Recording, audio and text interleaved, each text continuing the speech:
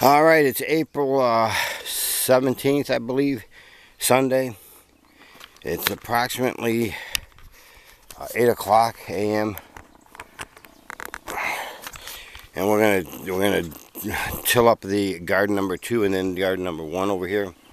And why is this not focusing? There it goes.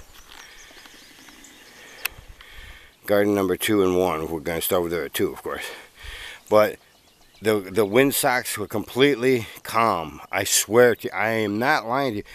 You can come out here at six o'clock in the morning, they're calm. We come outside to start doing something and they start blowing. Look at that. It doesn't make any difference. We're going to start over here in, on Garden 2. If the wind starts picking up, you know what? That stuff will sit there until around 6 o'clock tonight, and we'll do it this evening. So, just so you understand, you know, four years, nothing. Now this, constantly, all the time. Fukushima, nah. The chemtrails in the sky, nah. This is just spring, which is what most idiots want to believe. Oh, it's just because it's spring. Yeah. Four years, nothing. Or three and a half years, nothing. Now, all of a sudden this year, spring. Pfft. What a joke.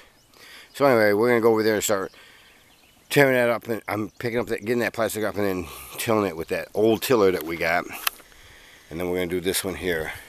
And again, unless the wind just picks up too much, and you want. I don't have a problem. I'll go back in the house and sit. No, actually what we'll do is we'll we'll do this. The 50 foot roll of fencing I cut in half.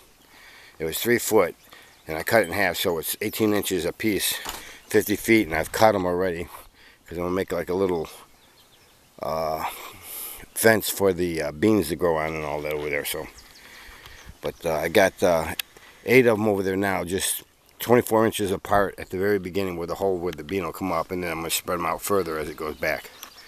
So there.